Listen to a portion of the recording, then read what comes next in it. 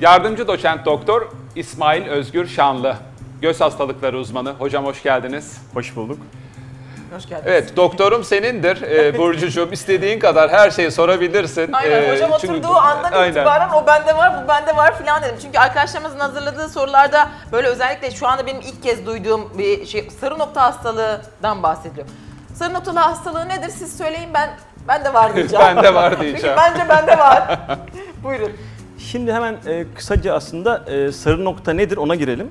E, sarı nokta herkeste olan bir şeydir aslında. Bu bizim gözümüzün sinir tabakasında e, hücrelerin, sinir hücrelerinin en fazla yoğunlaştığı ve bizim keskin görmeden, aydınlıkta görmeden ve renkli görmemizden sorumlu olan hücrelerin yoğunlaştığı görme noktasıdır. Bu sarı noktanın hastalığına da, bozulmasına da sarı nokta hastalığı ismi verilir. Hastalığın kendisi sarı nokta hastalığı değil yani. Oradan gel- sarı, İşte tamam, sarı nokta hastalanınca Tamam. sarı nokta hastalığı, Hastalığı oluyor. oluyor. Yani Şimdi Latince adı neydi hocam? Maküla E, yaşa- dejenerasyonu. Senil maküler dejenerasans yani yaşa bağlı maküle dejenerasyonu. Evet. Yani bozuluyor. Maküle bozuluyor. Evet aynen maküle işte onun Çünkü latincesi niye? maküle. Vücutta en çabuk yaşlanan organ kimdi? Göz. Göz tabii. Öyle mi? En hızlı o yaşta 20 yaşından itibaren hemen yaşlanıyor. yani Tabii, hızlı. tavanını yaşıyor 20 yaşında. Belirtileri neler? Bana onu söyler misiniz? Şimdi mesela işte tabii aydınlıkta görmeden falan bahsettiniz. Onlar mı onlar mı bir şekilde Şimdi e, e, kusurlu hale geliyor? sarı nokta hastalıklarında e, tabii acil belirtiler e, baktığınız e, düzgün nesneli kırıklı görme, e, işte şekillerde bozulma e, ve merkezi rahat görememe, çevreyi rahat görme gibi bir sürü e, semptomla karakterize olabilir. Ama e, yaşa bağlı bu makula dejenerasyonunun yani sarı nokta hastalığının tipleri var. Tek tipten oluşmuyor. E, iki e, ana tipi ayırabiliriz bunları. Kuru tip ve yaş tip olmak üzere. Şimdi kuru tipin ve yaş tipin belirtileri biraz farklı. Ama işin doğrusu kuru tip o kadar yaygın ki e, yaklaşık %90'ını oluşturuyor e, bu sarı nokta hastalığı. Sarı nokta hastalığı. Evet. Ve e, gelişmiş ve gelişmekte olan ülkelerdeki bu sarı nokta hastalığı en sık körlük nedenleri arasında yer alıyor. Bak iddialı bir aslında sonucu var. Ee, şimdi e, bu tabii geldiğimiz noktada gelişen teknoloji, gelişen e, hava kirliliği, oluşan stres faktörleri, büyük şehirler e, aslında e, bizim lehimize mi, aleyhimize mi çalışıyor sorgulattırıyor bize. E, aslında burada önemli olan e, iki şey var. Oksidan ve antioksidanlar arasındaki denge. Az önce dediniz ya en erken yaşlanan e, organımız Organımız. göz. Niye? Çünkü dışa çok açık, oksidanlara çok fazla maruz kalıyor ve kaçınılmaz bir şekilde de bundan nasibini alıyor.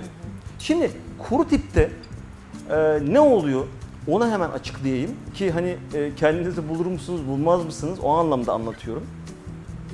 Kuru tip e, sarı nokta hastalığı e, bu yaş tipte olduğu gibi hızlı bir görme kaybı yaratmıyor. Yavaş yavaş görmede azalma semptomları veriyor. Ne yapıyor mesela?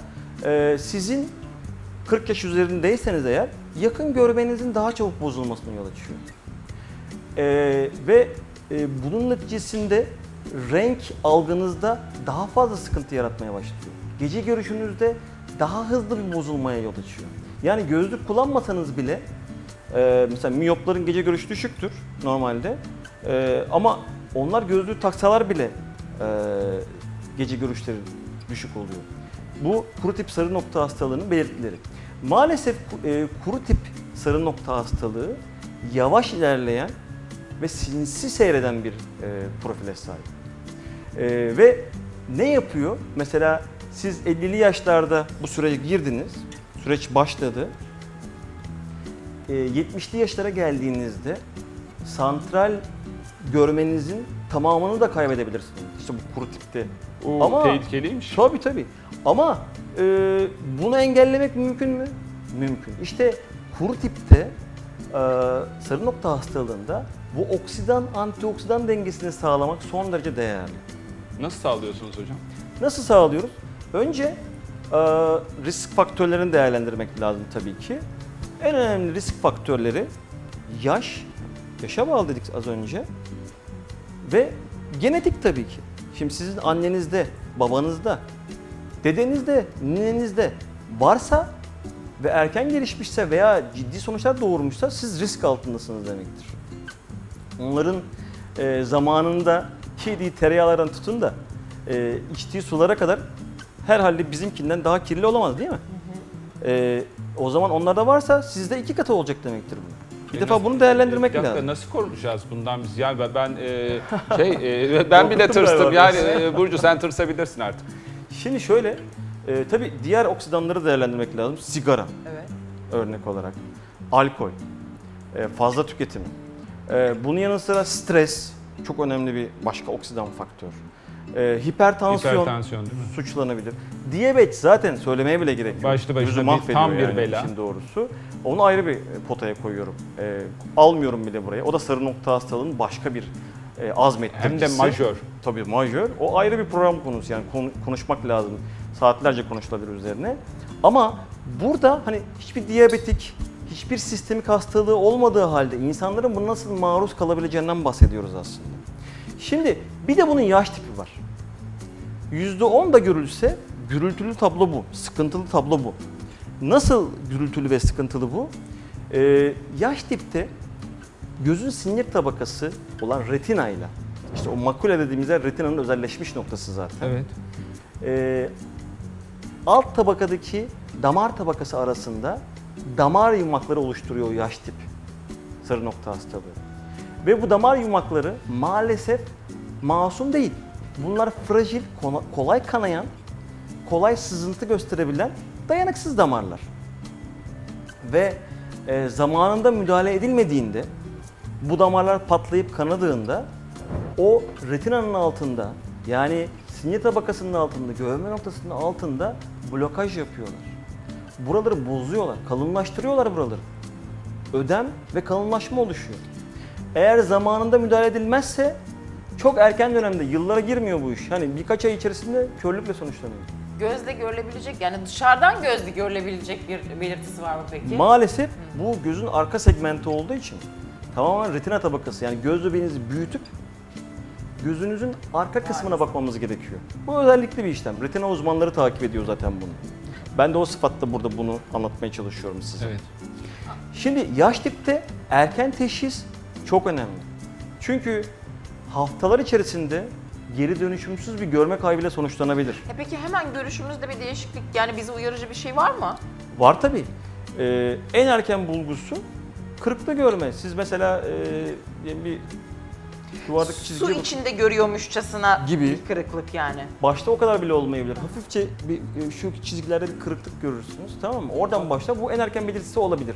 Sonra su içinde görmeye başlamışsanız Aha. ödem gelişmiş demektir. O sudur zaten Evet yani. yani evet. Evet, o biraz daha ilerlemiş safhasıdır. Biz o yüzden Amstel grid kartları vardır böyle ızgara gibi, çizgiler içeren, kareler içeren.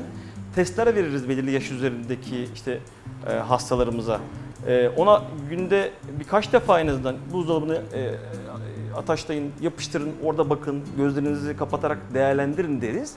E, bu sayede hani e, erken teşhisi kendisine yaptırmaya çalışırız hastanın aslında. Peki İsmail Hocam tedavide ne yapıyorsunuz? Tedavide ne yapıyoruz? Yaş tipte e, günümüz hani e, teknolojik gelişmeleriyle birlikte göz içi enjeksiyonlar çok önem kazandı. Ne yapıyoruz gözün Ne içerisine? enjekte Ne enjekte ediyoruz diye Hakikaten sorarsanız. tamam ben sordum ben soruyu kendim kusura bakmayın. Rol çalmış oldum ama.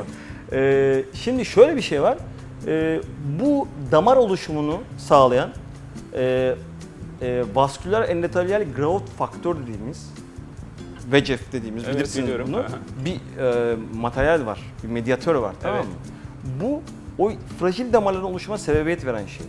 Bulunmuş ki bunları baskılayabilirsek e, o damarları kurutabiliyoruz. Oluşmasını engelleyebiliyoruz. İşte biz gözün içerisine bu anti e, VEGF ya da damar oluşumunu tetikleyen faktörleri baskılayan ilaçlar veriyoruz. Bu sayede de e, Göz Geriletip- içeri doğru mu veriyorsunuz? Tabii bu tabii göz bebeğin içine girmiyoruz da Gir. yan taraftan e, uygun bir yerden girip yanını yakmadan e, saniyeler içerisinde verebiliyoruz. yani. Bunu e, narkozlu mu yapıyorsunuz, Yo, lokalle mi yapıyorsunuz? Tamamen lokal damla anestezi altında. Damla anestezisi. Tabii yani bu işin bilirseniz tekniğini hissetmezsiniz bile, hissettirmiyoruz bile hastalara. Söylediğiniz şeyi Ya hissediyorum. e, ço- ço- çok şey değil mi? Çok enteresan güzel işler bunlar. Yani ne yani Ama işte e, hayat, göz kurtarıcı, görmeyi kurtarıcı oluyor. İnanamazsınız etkilerine. Evet dur yani İnanılmaz bu- etkileri Burcu var düşünsene yani. sarı nokta oldun işte e, böyle hemen 5 dakikada kurtuluyorsun. Tamam onu biliyorum evet ama yani ben şu anda daha böyle hani hastalık hastası olduğum için sarı nokta yarın bende çıkabilir gibi Yok ya yani. maşallahın var her şeyi Onu görüyorsun. şimdi- Bence e, ha, sende sarı şimdi nokta yok. Şuraya girelim mi? Ee, ya sarı nokta hastalığı nasıl teşhis ediyoruz? Evet. Sadece hastaya verip eline bir kağıt verip ya kendine teşhis koy Git bak demiyoruz bakayım herhalde. buzdolabının üzerinde. sarı Şimdi- noktaysan gel. Tabii.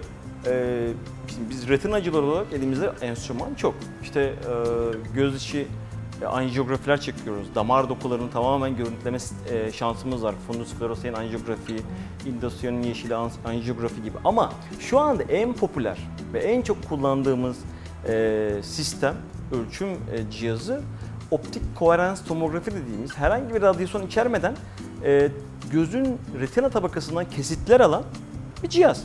Çok gelişti şu anda. Biz gözün arkasına göz bebeği hatta küçükken bile girip e, hiç büyütmeden bile arkadaki o sarı noktanın kesitlerini alıp altında ne var, damar yumağı var mı, yok mu, orası ne kadar incelmiş, ne kadar incelmemiş e, saptayabiliyoruz. Ve kişinin geleceği hakkında da e, mesela 40 yaşında gelmiş bize bir OST çektiğimiz zaman e, hatta bugün klinikte muayene ettiğim bir hastama da söyledim onu. Daha da 30'lu yaşlardaydı. E, sen kuru tip sarı nokta hastalığına adaysın. Şimdiden antioksidan beslenme modeline geç.